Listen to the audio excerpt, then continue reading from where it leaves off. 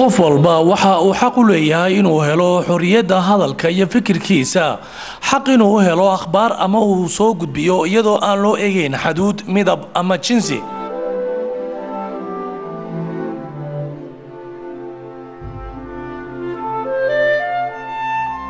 Wariyuhu waxa uu soo gudbiyaa akhbaar ama falanqeeya isagoo la wadaaga hadba dadka uu u gudbinayo.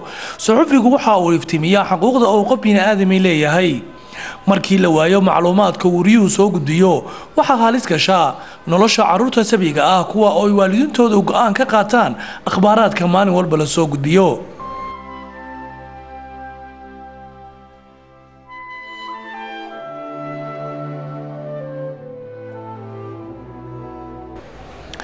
mararka qaar suxufigu waxa uu u bareeraa halis naftiisa soo wajahda isagoo taga meel aanad naftaada ku aaminteen. Si uu soo bandhigo waxaadan ka daawan kari lahayn gurigaaga.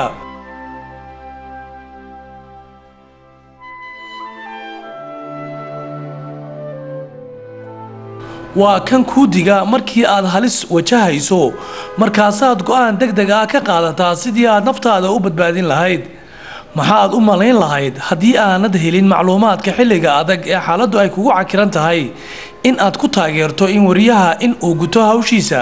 Waxa ay ka dhigan tahay inaad hesho macluumaad iyo warar muhiim ku ah iyo in la soo qaado macluumaad badan. Tani macnaheedu waxa weeye in suxufigu uu shaqadiisa guto si howlkarnimo leh oo farxadi ay ku dheehan tahay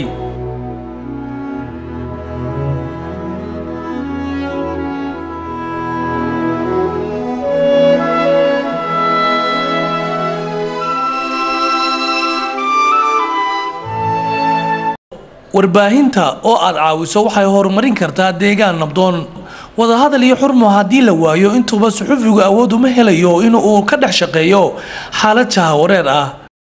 Xaaladda masiibooyinka oo nolosha iyo geeridiisu dhinac yaalaan suxufigu waxa uu awoodaa inuu noloshaada uu isbeddel ku sameeyo. Haddaba suxufiga oo aad ilaaliso xuquuqdiisa inuu shaqadiisa u guto si xor ah waxay ka dhigan tahay adiga oo ilaaliya xuquuqda dadka oo dhan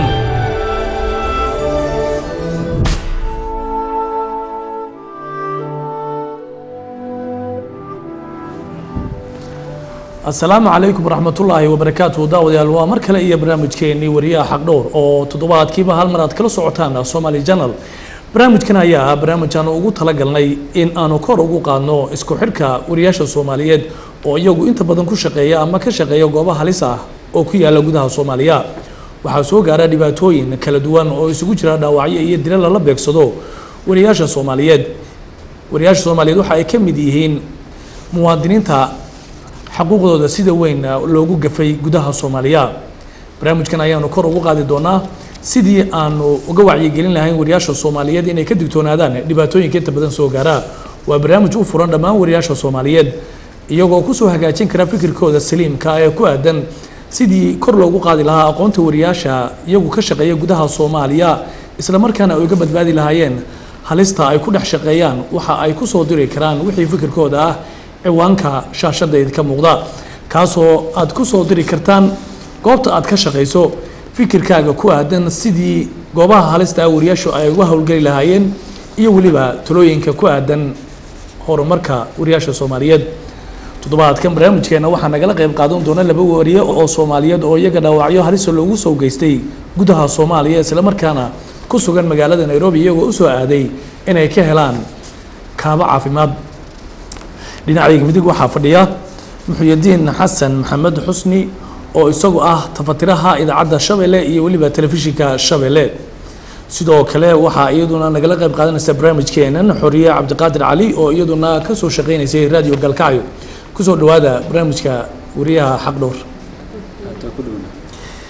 ugu horeyn waxaan ku hormari doonaa muxuyadiin bal marka hore waxa aad warbixin yaroo kooban naga siisaa qaabkii dhaawacani uu kugu soo gaaray. Inta inaan barnaamijka gudagelin. Bismi illaahi raxmaan raxiim ugu horeyn waxaan u mahad celinayaa allah subxaanahu watacaala oo halkan isugu kaan keenay. Marka labaad waxaan u mahad celinayaa somaali channel oo barnaamijkan suurtagelisay inay qabato iyo walaasheeda xoriyo oo barnaamijka nagala qaybgeliso iyo ibraahim adigoo barnaamijka wada. Runtii haddii aan gudgalo su'aasha weydiisay shan iyo labaatankii maarso sanadkan aynu ku jirno labada kun iyo laba iyo tobanka waktiga galabnimo oo aan ka soo ambabaxay xarunta shabakadda warbaahinta shabeelle ee magaalada muqdisho kuna wajahnaa hoygayga oo ku yaalla qeybo ka mid a degmada wadajir ayaa xilli aan u dhowaa gurigayga oo ku yaalla nawaaxiga shaneema muqdisho.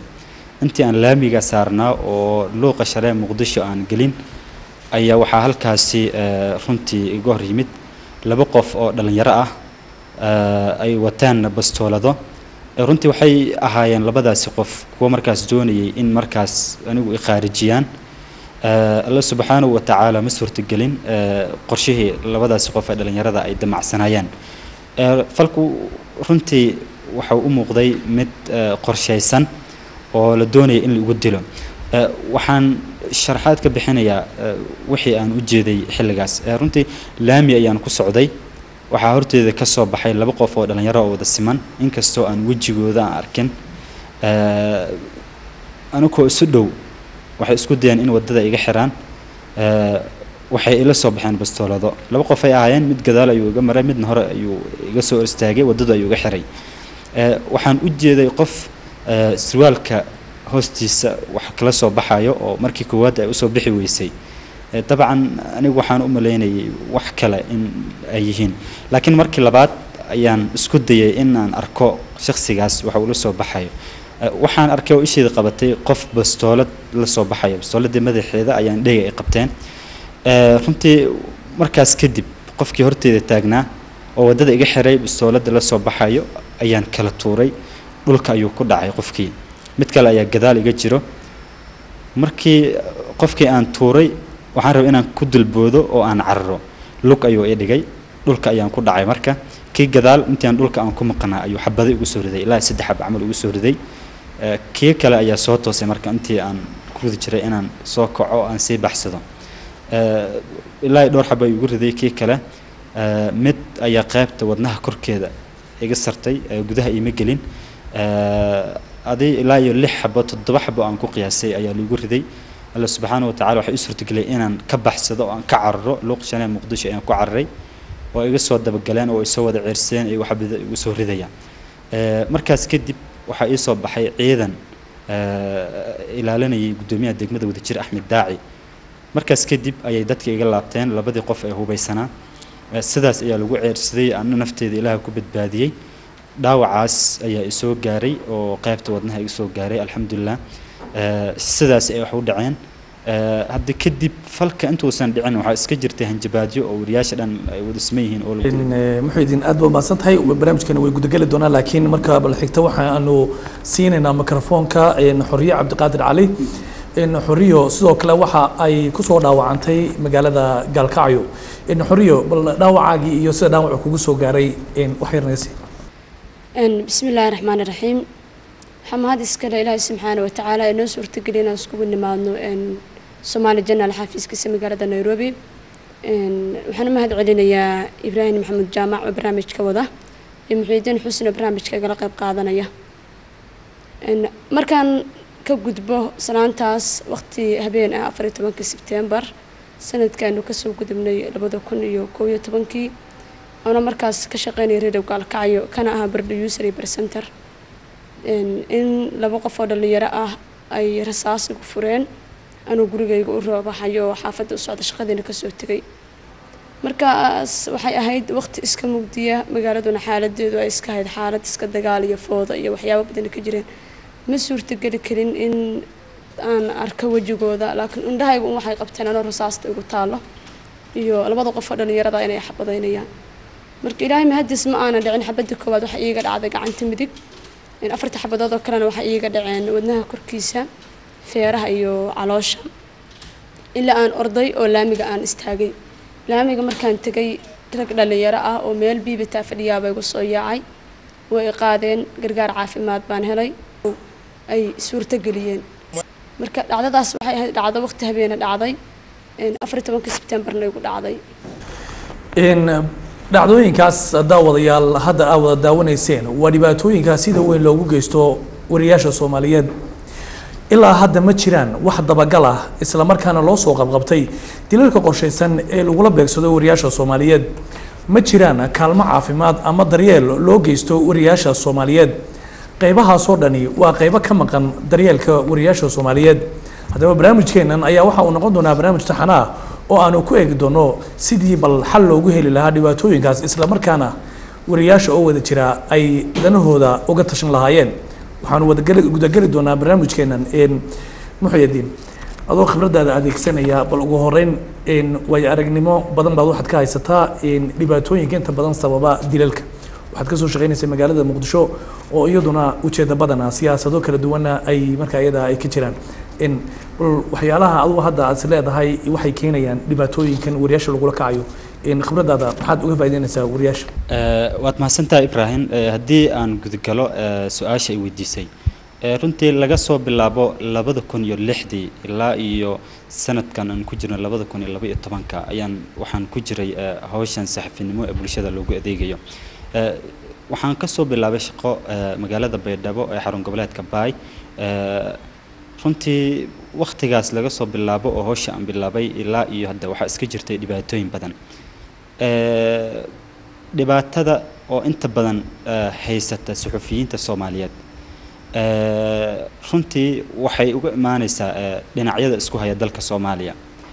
Saxafigu waad la socotaa keliya wuxuu ka waramaa waxaa dhaca unbaa ka waramaa iyo bulshada dhibaatadaasi haysata.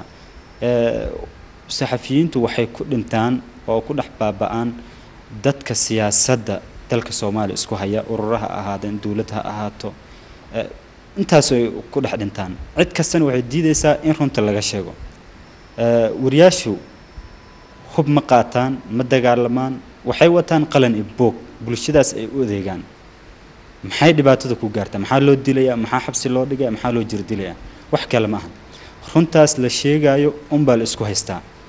Marka runtii qabaddeeda haddaan adeegsado dhibaatada saxafiyiinta haysata. Sababta loo dilaya waxay tahay loo dhibaateynayo runta ay sheegayaan aa lagu haystaa wax kale oo saxafiyiinta haddan lagu haysto ma jirto.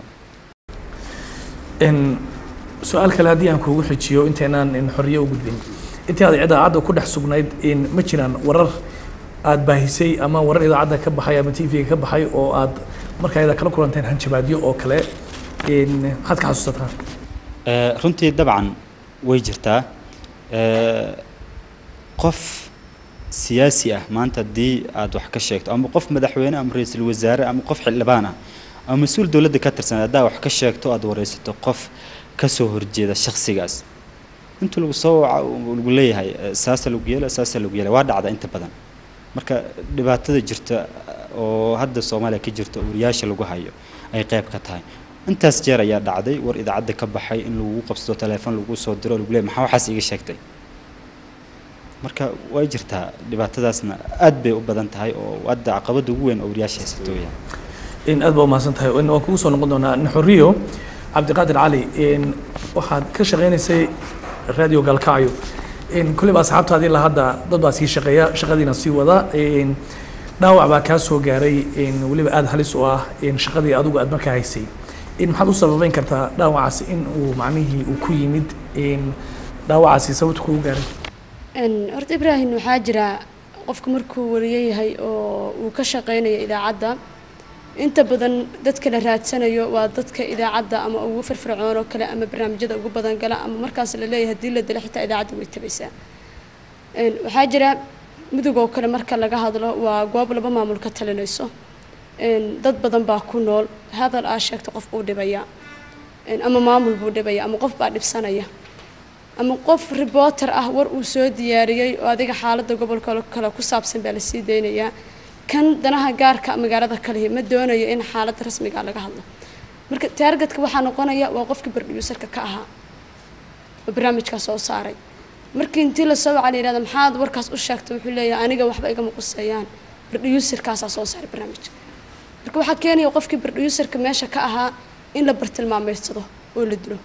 Dhibaatada ugu badan oo hadda na soo gaartay ama aniga shaqsi ahaanteeda igu dhacdana waxay iigu dhacday howlaha aan shacabkayga u hayay radio gaalkacyan aan ka waday.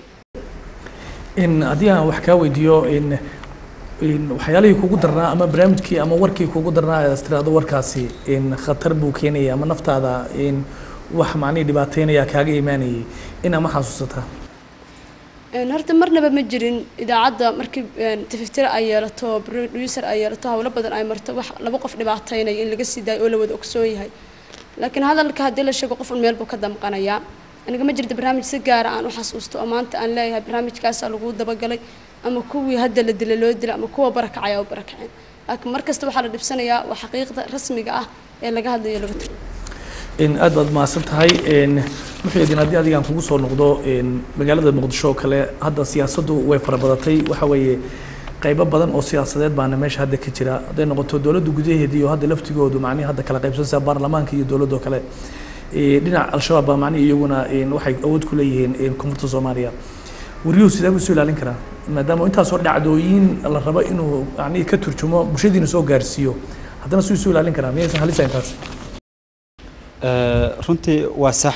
Waa halis. Qof kasta oo saxafiya haatan ka howlgala soomaaliya naftiis halis bay ku jirtaa haddana iyadoo la wada og yahay tusaale allah u naxariistee xiis oo honkebel ka tirsanaa. Intaan soo aasnay aa shaqadan galnay. Meesha lagu dilay waa muqdisho waxaa ku sii xigay xasan fandaasig agaasimihii shabeelle oo hay'addeeni ka tirsanaa.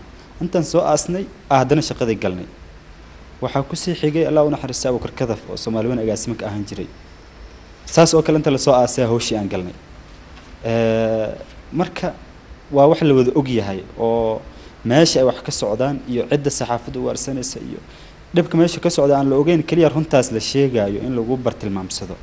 Marka saxafiga maba is ilaalin karaba sababtoo ah keliya waxaa ka go-an saxafi muqdisho joogo ama meel kastoo joogo in bulshada si daacad ugu adeego. Hadduu u dhintana wax alla og yahay oo bulshadaas aad ugu adeegaysa in runta aad ka dhimato xalka meeshuu maraya si kale oo la isku ilaalin karo ma jirto. Keliya in wax runta laga sheego runta aad ku dhimato. Intaasa ka naga go-nayd. Intii muqdisho aan ka howlgelinay saaxiibadan hadda muqdisho joogana intaas waa ka go-an. Si kale la isku ilaalin karo ma jirto. Sababtoo dhinacyada soomaaliyan hanjabaada kaaga imaanayso wax kasta lagu dhaha waa inaad ku sii adkaysta wax kale samayn karta ma lahan waxaa samayn karta keliya inaad soo cararto. Haddaad soo carartana si un u badbaadista adiga. Marka saxafigu ma is ilaalin karo. Keliya in runta aad ku dhimato un marka intaasa naga go-nayd. N haddii aynu dib ugu noqono ma la oran karaa suxufiyiinta laftigoodu dhibaatooyinkan eh, qayb bay ka noqon karaan. Marka loo eego sida hadda warbaahintu ay u fiday n idaacadaha telefishinada maadaama control iyo meel dhexoo isugu tagaana aysan jirin aqoontiyoodina ay yar tahay weli ma suurtagal ma tahay in ay laftigoodu qayb ka yihiin dhibaatooyinkaas oo aynan warar inta badan dhexdhexaad ayna sheegin? Runtii horta in idaacaduhu ay bataan saxafiyiin ay soo baxaan waa wax dalkii dan ugu jirto oo bulshadii dan ugu jirto. Sababta awal ma jiri jirin in intaan wariye ay soo baxaan oo bulshada adeegaan. Dadkeed waxbay wada fahmeen saxafiyiintii waa in bulshada loo adeego. Dalka soomaaliya labaatan sano ka badan colaadaa ka jirtay. Hadda tusaale sannadkii tegey markii soomaaliya abaaruhu ay ku dhufteen saxaafadda way bumbuunisay. Gurmadka la geeyey oo caalamkii dhan isugu tagtayna waa la ogaa. Marka saxaafadda horta waxbay taraysaa oo bulshada wax badan ay u qabanaysaa. Haddana lama dhihi karo waxay qeyb ka yihiin dhibaatada dalka ka jirto. Wixii jiro un haddaad sheegtid qeyb kama noqon kartid. Laakiin dalkii asaa wax iska noqday dal iska burburay hadda dowladda ka jirto dowladdii hadda jirto. Awood saasa ma lahan. Magaalada muqdisho intaas dilala ka dhaca waxbaa la dilaa lama soo qabto dadkii falka geystay meel bulsho dhexdeeda qof lagu dhibaatay waxaa leeyahay qofkii waa baxsaday. Marka saxafiyiintu qeybka ma ahan. Keliya waxay eh, kaalin ka geystaan oo sida hadda ay muuqataba in dadkii dhibaataysanaa loo hadlo oo wax loo soo saaro. Marka aniga waxaan qabaa in saxaafadda dhibaatada dalka jirta aan qayb ka ahayn sababtoo ah wax kastoo idaacadda ka baxa ama t v ka baxa qofaa mas'uulka ah. Idaacadda waxay leedahay taftire t v-ga wuxuu leeyahay taftire waxaan la isku ogeyn idaacadda kama baxaan oo maamulkii aan ka warqabin. Waxay naftii halis gelinayso oo dhinaca u janjeeraan. Waa la joojiyaa ma baxaan idaacadaha ani taftira ahaa shabeelle. Intaas warar la joojiyay intaas barnaamijyada la joojiyey. Oo shaqaale dhib ka soo gaari karo. Marka qaybka ma ahan ani fikirkaan aaminsanahay. Inay sii bataan idaacadihii saxafiyiintu ay bataan. Waa horumar dalkii u horseedayo in aad ba mahadsantahay in xorriya haddaynu dib ugu noqono raadiyo in gaalkacayo wuxuu ka dhex shaqeeyaa saa sheegaysa laba maamul. Mar haddii maadaama dhibaatooyinkan ay yimaadeen suxuufiyiinta lagu hayo miyaysan habbooneyn dadka owneriska ama iska leh idaacadahoo kale ama telefishinadoo kale inay staff u sameeyaan gaar ah wariyaashii oo waardiyaal markaa laga sharceeyo maamulada meeshaa degan si ammaankooda loo sugo loo raaco markii wararka ay doonayaan dan maadaama cid walba hadda la waardiyeeyo iyagana ay noqdeen dad la taargad garaysanayo maysan taasi habbooneyn ibrahim horta way habboonaan lahayd. Laakiin waxaa jira inta badan in xarumaha warbaahinta ama t v ha noqoto ama idaacad ha noqoto ay leeyihiin waardiyaal. Gaalkacyo marka haddaan dib ugu laabano laba maamul bay leedahay. Labada maamul boolis labadooda ka dhex shaqeeya oo ammaanka wada suga ma jiro. Ma suurtagelayso marka qofka waqooyi ka shaqeeya intuu tago oo koonfur tago in la geeyo gurigiisii qofka koonfurta degan waqooyiga degan oo koonfurta ka shaqeeyana in la geeyo ma noqonayso.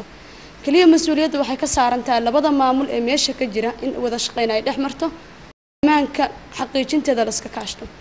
Midda kale dilalka wariyaasha mudug wax soo kordhay bay noqdeen loogama baran horay. Hanjabaadaha loo jeedsho ha loo cagajugleeyo ama ha la xiro maamuladu ha xireen. Laakiin wariyo si bareera loo dilo gaalkacyo ma ka jiri jirinin. Wax ku cusub bay noqotay haddana iyadoo wax ku cusub ay noqotay waxay qayb ka noqotay nabadoonadii la dilayo waxgaradkii la dilayo inay qayb ka sii raacdo.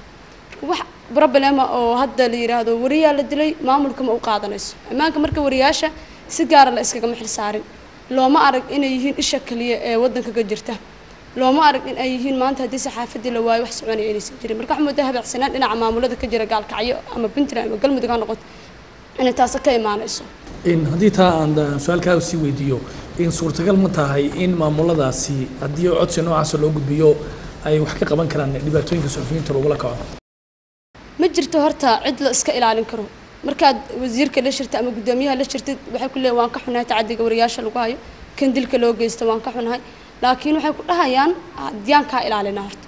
Qofkaan kaa ilaalina aaw. Meel aan kaa ilaalino aa dhahaysa meeshaasaan ka baqaya hala ii raac miyaa jira waa may.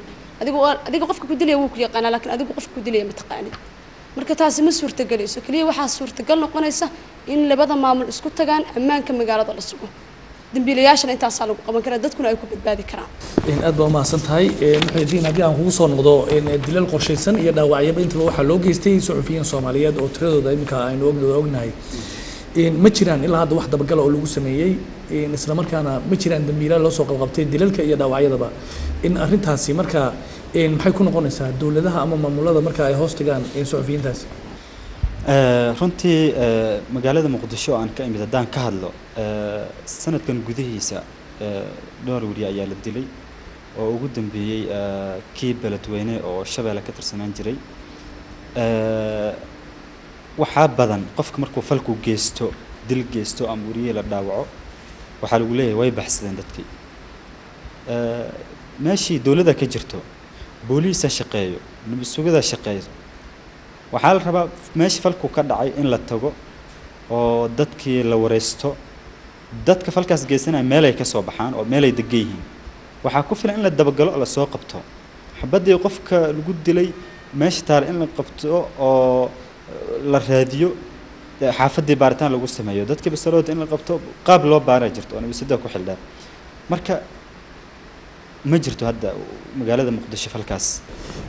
Kulamo badan baa jiray oo wariyaashu ay la yeesheen mas'uuliyiinta ugu sarsareysa dowladda kumeel gaarka ee soomaaliya. Waqtigaasna waxaan u malaynaya muqdisho inaad ku sugneyd wax ka soo baxay ma jirin. Kulamadaasi oo lagala hadlayay weliba mas'uuliyiinta in ay dabagalaan ama maxkamada la horkeeno cidda dilalka ka dambeysay. Arrimaha maxaa ka ogeediyey runtii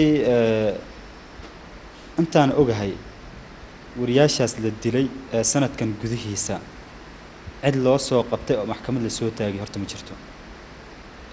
Tii ugu dambeysay oo anigu dhacday maalin cad ayay falkaas dhacay dadkii way baxsadeena la yidhi. Cid dabagashay ma lahan. Wax maxkamad la soo taagay ma jiraan. Waa la iska aamus codtada lahays ma lahan. Qof marka la soo aasay laba maalin kadib waxaa lagu leeyahay intay hadlaan idaacadda laga hadlo baaritaana socdo saasa wax socdo. Kadibna waxba lama arko. Waa la isaga aamusaa marka wariyaasha waxay hoos tagaan sidooda dhan wasaaradda warfaafinta ee dowladda gaarka wax dhaqdhaqaaq ah oo ay samayso baaritaan booliiskii dabagasho meeshii la tago ma jirto. Sideedaba waxay hawsha adkaanaysaa ee dambiilayaashu sideedaba waxay hawsha adkaanaysaa oo dambiilayaashu la soo qaban karaa markii baaris rasmi ah la sameeyo wasaaradda warfaafinta ay dabagasho oo wariyaashii dhiirigeliso oo dad la soo qabtay oo wariyo dilay la arko. Laakiin ilaa hadda ma jirto marka taasna waxay walaac ku sii abuureysaa wariyaashii iyo meeshii maamul xumada ka jirto dhinacyadii oo iska faa'iideysanayo oo qofka wariyaha dhibaatana aan la aqoon. Muxuudiin aad aad baad mahadsan tahay xorriya cabdiqaadir haddii aynu dib ugu noqono dhibaatooyinka wariyaasha loo geystay ee taariikh ahaan wax badan baynu macnin ka ognahay. Sida hadda uu sheegay muxuudiin ma jiraan cid daba ee cid macnihi hawshaa gasha wariyaasha laftigood miyaysan ka muuqan habacsanaan ballaaran maadaama oo ay jiraan investigation journalist ooba shaqadan shaqadii aan soo barnay ay tahay in la daba kaco dambiile la soo ogaado qofkii macni ama xaqiiqo dhaba la soo ogaado. Wariyaasha laftigood miyaysan dhibaato ku ahayn inaysan halkiisana soo bandhigin. Qofkii geystay. Ibrahim horta waa mahadsan tahay aniga waxaan u soo jooga dhacdo intay dhacday. Kii geystay dadku arkayeen haddana aan booliskii loo sheegaynin kiiska muxiidiin ku dhacoo kale. Hadduu wiil saxafiya la socon laha ama asagu xitaa uu wejigiisa garan lahaa kii dilay. Ma jirto cid u kafaalo qaadaysa asaga ammaankiisa in qofkan uu soo bandhigo. Qof walba wuxuu leeyay kan hadduu dhinto soo xabaal allah u naxariisto. Kan dhaawacaa isbitaal hala geeyo. Taada una baxso. Marka laamihii ammaanka ee mas'uuliyaddu ka saarnay dadka in ay ammaankooda sugaan wax ay soo bandhigi waayeen haddii la yidhaha saxaafadda ha soo bandhigto.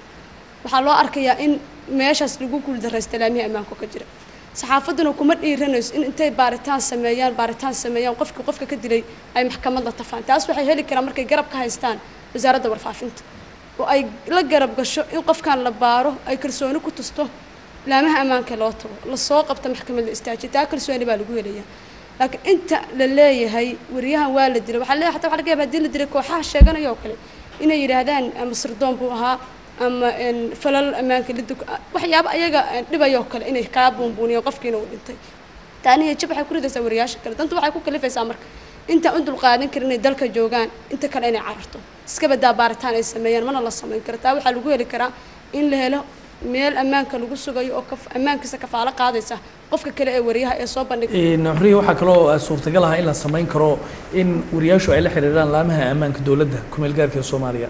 Iyadoon wariyihii la sheegayn haddana in ay u gudbiyaan cidda ay tuhmayaan in ay macnihii geysteen falalka dembiyada ee ka dhanka wariyaasha. Isla markaasna laamaha ammaanku iyagu iyagoo aan sheegin qofkii soo gudbiya xogtaasi in iyaguna ay daba kacaan isla markaana maxkamad la hor keeno oo ay saa ku fududaato. Taas laftii mayan samayn karin taa waa la samayn karaa. Laakiin waxaa jirta hadda haddii qof loo hanjabo oo aan idhaahdo aniga tusaale haddii intii la ii hanjabo qofka ila shaqeeya un sheego dha qofkaasaa ii dhaartay saasaa la iigu dhaartay berri haddaan dhintoo la ii dilo waa loo dhaaran jiray buu leeyahay. Awood uma u laha inuu qofka soo bandhigo. Laamaha ammaanku ama wariyaashu waxa ay wax ku soo bandhigi karaan mar kasta waa dalka inay nabadi ka jirto. In intaan laamaha ammaanka wacnan idhaahno qofkaasoo qofkeena dilay caddayn mau haysaa baa lagaa horkeenaya hadda hadduu soo qabto oo saldhigga la geeyo waa lagaa soo daba sidaynayaa berri waxaa laga yaabaa kii noolaa inuu dilo. Marka cadaalad ma jirto. Waxaa muuqan waa cadaaladdii in cadaalad la helo baa dadka qofka wax dilaana ku baqi karaa. Kan la dilaana xaqa ka maqan uu ku heli karo aad baad mahadsantay xorriyo in muxuyadiin haddii dib aynu soo noqono kiiskaas baaritaanka iyo sidii wariyaashu ay wax badan uga ogaan lahaayeen cidda dilalka u geysataa waxaa jirta fariimo telefoonka la isaga dhiibo. Isla markaana shirkadaha la isticmaala waa shirkado xogta dhabta la soo heli karo. Nambarka qofkaasi soo wacay ee u hanjabay meesha uu ka soo wacay cidda wadata waxaasoo dhan macni waa register. Arrinkaasi miyaanu ahayn? Arrin fudud oo la oran karo haddii maanta lagu soo hanjabo inaad xiriir ka samayn karto laamihii ammaanka iyo communicationkii intii la helo in raaraac lagu samayn karo arrinkaasi. Runtii waa sax waa la dabageli karaa. Haddii hanjabaad ay ku imaado kolley waxaa la isku diraa mobeelo aa jiro fariimo la isu diro oo aan hayno oo anigu dhacda oo kale laakiin waxaa adkaanayso in baaritaankii lagula sameeyo. Ha ahaato dhinacii dowladda oo booliiska inay baaritaan kula sameeyaan inay kaa caajisaan iska macquul ah dalka hadda marxaladdu ku jiro waa la ogyahay dhinacii shirkadahana waxaa iska adkaan karto ayadana in naftirkooda baaritaan lagula sameeyo. Oo sababtoo ah waxaan aad baarayso waa hanjabaad. Qofkaas wuxuu ka baqayaa in feedback uu imaado oo dhib ka soo gaaro. Marka sida walaashii xorye ay sheegtay baaritaan iyo dabagal ama dembiiluhu inuu cabsado waxay dhici kartaa markii dowlad rasmi ah oo cadaalad la helo oo dalkii uu sugnaado oo bulshadii ay isdhexgeli karto. Oo qof kasta ay gasho kalsooni wax sheegi karo. Qofka shirkadda u tagto wax kuu baari karo. Booliis markaa u tagto intuusan kaa caajisin toban maalin boqol maalin in hawsha uu kula baaro. Laakiin hadda cid laba maalin kuu dulqaadan karto ma jirto. Booliis ahaato ama shaksi kale ha ahaado. Sababta qof kasta ammaankiisu u baqaya meeshii cadaalad ma jirto magaaladii waa lala socdaa dalka soomaaliya waa la socdaa dhibaatada ka jirto Qo- qof kasta waa farqi in ka adiga ahaan imsa fariimood oo hanjabaada macnihi aad ka heshay telefonka aniga fariimaha ii soo dhacay oo hanjabaad ah ma soo koobmaan sababtoo ah ee labada kun iyo sagaalkii ilaa iyo haatan fariin badan haya oo masjid u soo waa lagu dilayaa saasaa tahay waxaasaa naga sheegtay meeshaas haddii lagu arko dadkaas noocaasaan ku soo dirnay marka wax tirko maahan hanjabaad iska caadi waa wax la qabsanay. Heer waxaan gaarnay eh, markaan fariimo hanjabaad aragno. Inaan iska xareyno xitaa aan la akhrin sababtoo ah kalsooniyaa nagu gashay oo cabsidii aan iska dhaafnay. Marna ma dhacda inaad shirkadaha dib ula xiriirtaan marka aad aad telefonka ka wadatay oo aad tiraahdo messagekaasa ii soo dhacay meesha uu iga yimid iyo because waxay leeyihiin in service oo dadka ay u qabtaan shirkadu lacagna way ka qaataan. Weli xiriir ma kala samayso ma tiri waxaan u baahanahay qofka macnihi arrinkaas igu sameeyay inaan helo daatadiisa Eh, haa laakiin waxaa kugu filan in qofka simka iska bedelo oo aadan soo qaban karin. Waxaa iska jira nambaro oo aan magacii ku qornayn oo qofka iska isticmaali oo magacan oo number ah.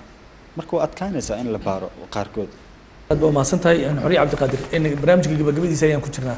Maxaad fariin guud u diraysaa asxaabtaadii iyo weliba wariyaasha soomaaliyeed ee maanta fursadda aad u heshay ku daawanaya oo aad oran karto bal in ay ka digtoonaadaan in khataraha noocan oo kale ay ku yimaadaan. Ibrahim waa mahadsantaha intaana fariinta u gudagelin arrinta muxiidiin oo isgaarsiinta teleefanada ah. Runtii shirkadda markaa u tagtid aniga waxaan ka mid ahay shirkadda aan sitay inaan u tegay oo aan ku idhi lambarkaana la iiga soo hanjabay message la iiga soo diray. Qofka wata in la ii baara magaciisa waa ka mamnuuc shirkadda in qof magaciisa la baaro. Haddii laguu dhaarto wax aan ka qaban karna male in la iigu jawaabo la iigu soo telefon gareeya shirkadda haddii aad taa tagtay aad tirahdee lambarka magaca ii baara inaan lambar dambe oo caado u muuqda aan lagaa soo wacayn oo lambar lagaa soo wacayo. Shirkaduhu marka wax ay ka qaban karaan ma lahanin. Waxa ay samaynayaan haddii haddii la soo waca la dhaho qofkaa teleefonkiisa noo sheeg. Xitaa waxay ku amreen inay sheegaan. Waayo naftooda ayaga badbaadinayaan. Marka shirkadaha in aysan waxba ka qaban karinin intii laguu soo hanjabo ama laguu dhaarto ama messageka xitaa aad jirto tirada fariintaanan galabta la ii soo diray saanaan la iigu hanjabo. Aniga idinkii baan shirkadiina wataa. Maxaa ammaan darrada ida ii keenay? Ii baaro qofka wata waxay ku dhahayaan ma ka awoodi karna inaan kuu baarno. Adeegyo waxaa jira een, lacagaha la iskugu diro oo la furo oo qofka information laga buuxiyo sawirro laga qaado xitaa qofkan sawirkiisa bay heli karaan magaciisa saddexan bay heli karaan meeshuu jooga heli karaan faamiligiisa bay heli karaan hadday noqonayso in qofka la dabagalo waana fududaanaysa in la soo qabto dembiilaha laakiin shirkaduhu ma ku dhiiradaan inay inta badan qabtaan taasna kalsooni darrada waxay ka imaanaysaa qofka inuu xitaa ama shirkadda iska dhigo ama aa ku sidata iyadoo lagugu dilayo wax la xisaabtamaya ma lahan shirkadda haa haddii lala xisaabtamayo shirkadani oo beri ay ogtahay in maxkamad lagu soo taagayo qofkan shaksiga shirkadda ka wata in wax loo geystay maysan samayseen laakiin wax la xisaabtamaya inaysan oy bari waayo. Qof shaksiyaha shirkaddan iska leh ganacsibu dalka u keensaday qofkii la dilaya hala dilo kii wax la yeelo hala yeelo dakhliga ka soo gelayo asagu fiirsanaya wax kastoo qofka loo geysanayo. Okay gabagabadii maxaad maanta aad faraysaa asxaabtani gudaha ka shaqeynaysa oo weliba iyagu dhibaatooyinka aan ogahay ku dhex shaqeynaya maxaad fariin gudbin lahayd maanta? Laba farrimood baan dirayaa mid waa dowladda iyo maamulada ka jira soomaaliya. Midna waa wariyaasha midda dowladda iyo maamulada haddii aan ku hormaro muqdisho waa caasimadii soomaaliya. Dowladda ku-meel gaarkaa baana gacanta ku haysa sida ay ama aan ka fiirsan ama riboodyada lagu soo diro. Wariyihii saddexaad oo lagu dilo kiiska ugu dambeeyey muxiidiin baa lagu dhaawacay. Goob dowladdu hayso. Ilaa haddana ma jirto qof intay gacanta ku soo dhigtay ay tiri wariye hebel baa dilay buu dilay maxkamad baan soo saaray shabaabku dadka ay goobaha ay gacanta ku hayaan dadkooda way ku ammaan helaan qadiyadoodayna aaminsan yihiin. Dowladda marka waxaan ka codsanaynaa dadka wariyaasha ah oo ka shaqaynaya xarumaha dowladda ku yaalla dadka waxdila taarget bay u noqdeen. Ama waxaa ka sheega ama wax ka sheegin dowladda maadaama ay la shaqaynayaan inay kafaalo qaada ammaankooda. In ay qof haddii la dilo qof waqtigiisa la baajin karaa ma jiro qofka tiis hadday dhamaato wuu dhimanaya laakiin dadaal baa jira qofkan qofka dila in maxkamad la soo saaro kalsoonidaa ku badanaysa wada shaqayntaa ku badanaysa in kii dhinta allah u naxariista baaritaanba wadna ay uga harta mana noqonaysa midda noqonaysa maamuladana sidoo kale fa muqdisho kale ma joogaan goobo cayiman bay gacanta ku hayaan wariyaasha lagu dhibaataynayo ama lagu dilay ama lagu hanjabayo in ay hoos u dhigayso wada shaqayntooda ayaguna ha ogaadaan hana sameeyaan dadaal ay ku badbaadinayaan wariyaashooda. Fariinta kaloo aan u diraya wariyaasha waxaa waaye waxaa ka shaqaynaysiin goob nabadeed iyo goob colaadeed labadaba waxaa leedihiin cadow badan ama dadka la shaqaynaysiin ha idinkaga yimaado ama dadka kuwa dowladda ka soo horjeeda ama kooxaha kaloo dhibaatada wada ha noqoto. Inaad kalsooni iyo isku duubnaan muujisaan. Intiina isku dhow inaad israacdaan xaafadihiina isgeysaan. Kiina dhintay inaad ka warqabtaan kiina dhaawaca inaad ka warqabtaan. Mar kastana dhibka idin soo gaara isla qaybsataan. Howlaha aad shacabkiin u haysaana marnaba inan uga baqin teleefon la idiin soo diro iyo in laydin yidhaha waa la idin dilayaa marna inayna uga baqin baa aniga dardaarankayga uga ta oo aad ku dhabar adeegtaan xaq waa ku dhimanaysiin. Waxa soomaaliya ka socdana walaahi bilxaqiiqatan xaq iyo baadil waaye. Dhinta idinkoo laa ilaha illa allah maxamed rasuulullahi ile oo dalkiina u dhimanaya dhinta. Laakiin cidna ha dulminina. Intaad adigu aa leedahay dowladdaan la safanaya ama qof kalaan la safanaya cid ha dulmin. Laakiin xaqiiqda jirta adoo sheegaya ha lagugu dilo intii been lagugu dili lahaa intaasaan ku soo gabagabanaya inta naga dhimatana allah u naxariisto inta dhaawacaana allah caafiyo inta noolna allah badbaadiyo aad ba umahadsan tahay xorriyo muxuudiin adiga fariintaadii gabagabada bahdeena warbaahinta ee ka shaqeynaysa gudaha iyo weliba meelaha halista ah maadaama nairobina aad ku sugan tahay kuna soo dhaawacantay gudaha soomaaliya adigoo oo shaqadaadii gudanaya. Maxaad fariin maanta aa faraysaa barnaamijkeen wariyaha xaqdhowr bismi raxmaan raxiim runtii waxaan rabaa in meeshan fariin aan ugu diro dhinacyada soomaaliya iyo saxafiyiinta. Waxaan ku hormarayaa horta dhinacyada. Dowladda ha ahaato ahlu ha ahaato al-shabaab ha ahaato ani dhinac ururada diimida dalka ka jiro meelo ay joogaan ka soo shaqeeyey dhinaca dowladda waa ka soo shaqeeyey. Meel aan ku soo badbaaday ma lahan. Baydhabo intaas ma sanaan ka shaqeynayey. Shabaab markay soo galeen laba jeer ay xireen mar saddexaadna waxaa waaye way igu dareen. Ilaahay hadda dembiga aan galay cid ii sheegtay ma lahan. Si oo bani aadamna ka baxsan lagula dhaqmay. Muqdishoa imid markii laga xoreeyey oo inta badan shabaab sida dowladda ay sheegatay ay ka baxeen magaaladii saxafiyiin kalsooni badana soo gashay oo waxay isdhaheen meeshan waa ku sii shaqayn kartiin. Way ka sii dartay. Sanadkan cusub gudihiis intaas wariyaal la dilay qaar la dhaawacay. Marka waxaan leeyahay dhinacyada horta soomaaliya isku haya ilaahay ha ka baqaan oo saxaafadda ha badbaadiyaan waxay u adeegaan bulshadaas oo danyarta oo dhibaataysan. Hub ma haystaan oo madaxtinimo ma rabaan maxaa la yidhahdaa xil dadku ma haystaan? Keliya raadiyahaas iyo qalankaas iyo buuggaas horta ku badbaadiyaan. Waxaan leeyahay saxafiyiinta in hawsha ay u adkaystaan taxadir ay muujiyaan xaqa ay ku dhintaan oo bulshada ay ugu adeegaan. Iyagana intaasaan sii farayaa oo hanjabaad iyo fariin la isu soo dira iyo waxaas waxba loo arkin. Daawadayaal waxaa intaasi inoogu soo gabagaboobay barnaamijkeenii wariyaha xaqdhowr oo ah barnaamij todobaadlaha oo inta badan ka baxa somaali channel. Haddaba dhammaan waxaanu ka codsanaynaa suxufiyiinta soomaaliyeed meel walba ay joogaan inay barnaamijkan fikradooda ku aadan. Sidii wariyaasha soomaaliyeed loo badbaadin lahaa loogana badbaadin lahaa halista hadda ay ku jiraan ay ku soo diraan ciwaanka shaashadda ka muuqda. Haddaba waxaad ku soo qori kartaa goobta aad ka shaqayso iyo weliba magacaaga oo saddexan iyo weliba fikirkaaga saliimka ee ku aadan sidii wax looga qaban lahaa dhibaatooyinka loo geysto suxufiyiinta soomaaliyeed. Haddii ay noqoto sidii loo baari lahaa ama dabagal loogu samayn lahaa cidda ka dambeysa dembiyada loo geysto wariyaasha soomaaliyeed. Waddooyinkii loo mari lahaa sidii loo seefgarayn lahaa wariyaasha iyagu soomaaliyeed oo loo yareyn lahaa dhibaatada. Haddaba fikradihiina waanu u baahannahay waana barnaamijka wariyaha xaqdhoor oo ah barnaamij toddobaadlaha oo soomaali channel ka imaan doona. Toddobaadkanna waxaa marti noogu ahaa barnaamijka xorriye cabdiqaadir cali oo iyadu ku soo dhaawacantay magaalada gaalkacyo kana shaqayn jirtay raadiyo gaalkacyo iyo weliba muxuyidiin xasan maxamed muxsin oo isna ku soo dhaawacmay magaalada muqdisho kana soo shaqeeyey idaacadda shabeelle iyo weliba telefishinka shabeelle. Waa anigoo ibraahim maxamuud jaamac oo ah barnaamij soo saaraha barnaamijka